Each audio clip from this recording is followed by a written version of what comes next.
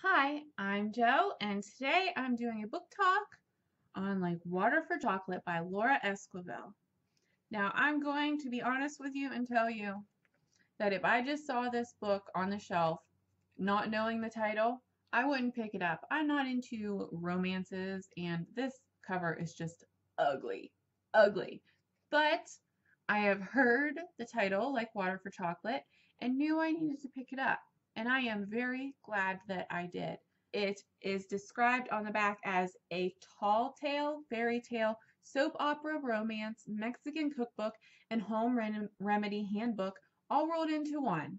And let me tell you, it is all that and more. This is a story about a Mexican woman named Tita. She is the youngest of three daughters, and in her family, it is the tradition that the youngest daughter does not marry and takes care of her mother when her mother gets old. Tita does not like this family tradition. I mean, what youngest daughter would? She knows that she can never get married. She has to live with her mother and take care of her mother in old age. It does not help that her mother is very mean. She is not a pleasant woman and she's particularly mean to Tita. So Tita basically grows up in the kitchen with their cook. So they get a little bit older, the girls, there's three of them. And Tita meets this boy in town. He comes to ask if he can marry her, and her mother says no. But hey, here's my other daughter.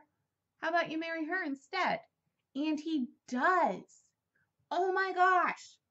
What? What? So he goes to a house with his father, all in love with Tita. Sits down. Tita's mother says, Nope, you can't marry her. She's not allowed to marry anyone because she has to take care of me when I'm old. But oh, here, here's a different daughter. How about you marry her? And he's like, Sounds like a good plan. Huh? What? No. No, no, no, no, no, no. So that's where things start. Oh my goodness. So there's part of the love triangle, or one of the love triangles. Tita, her sister, and her brother-in-law. Whoever thought that was a good idea? No. So then, and Tita's mom is very mean to her and tells her, that you are not allowed to look sad at the wedding and this is your sister's day. Don't ruin it. And Tita has to watch them get her sister's trousseau ready and make all these plans for the wedding. She has to cook the wedding. Between the wind and my cats, my house is falling apart. Tita has to cook the wedding meal for her sister and the man that she loves. I mean, how awful is that? Here's soap opera. Here's also a magical realism element in it, which I guess is the tall tale part. What Tita feels when she's cooking goes into the food, and when the people eat the food, that's the feelings that they feel. So she was sad about this wedding. She cried. Her tears fell into the food. The people at the wedding ate the food and then they became very sad and sick. They were sick. They were throwing up everywhere. It was crazy. There was vomit all over the place, everywhere. So they go and they get married and then they live in the same house. I would have run away. Oh my goodness, this is so terrible. This is awful. So now Tita is living in this house with her evil, mean mother, her sister, who is married to the man that she loves.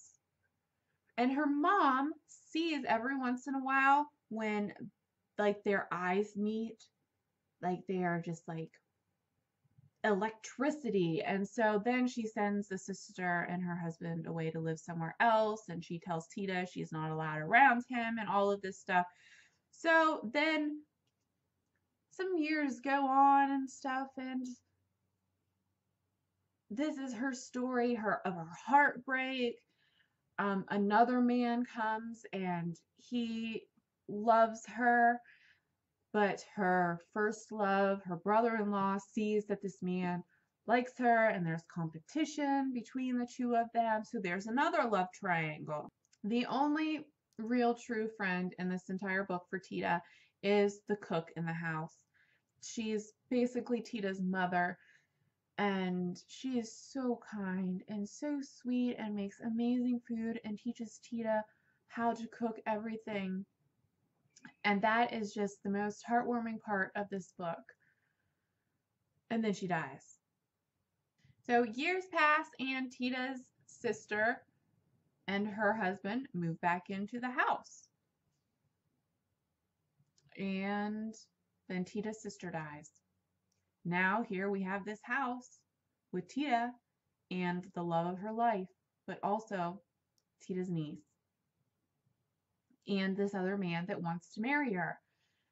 I'm not going to tell you what happens with that. That is a very intense love triangle there because now she's caught between a man that she loves and this other man who she feels indebted to because when she was ill, he took care of her. He took her into his house and cared for her, and she had affection for him. But she was she in love with him? Did she really want to marry him, especially now that her brother-in-law was basically available?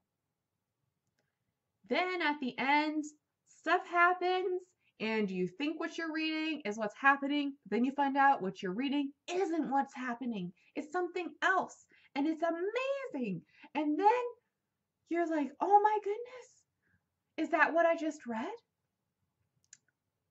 Did that just happen? I don't understand what just happened. I have to reread it again. And oh my goodness, I can't believe what happened. I cannot believe what ended up happening in this book. This is an amazing book. It is written in monthly installments, like it's uh, chapter 5, May, and then it has ingredients for a recipe. And then it, here is the preparation. So the entire story is wrapped around this uh, recipe and then there are some pages that that's the story. It's wrapped around there and then it goes on to the next month which is June. It says to be continued. Next month's recipe a recipe for making matches. And it actually is a recipe for making literal like fire matches not matches like between people. It was extremely enjoyable. It is not a very long read once I started, well, I have problems with self control. I sat down and I read this in one sitting. And it was amazing. And I I loved it. Oh my goodness, I loved it. I loved it. If you have read this, you need to tell me what you thought about it. Could you believe that ending? Oh my goodness. What?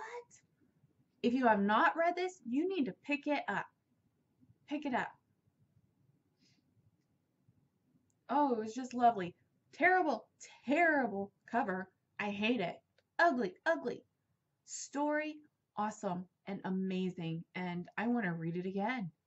Read this book. You will not regret it. And I will talk to you later. Bye.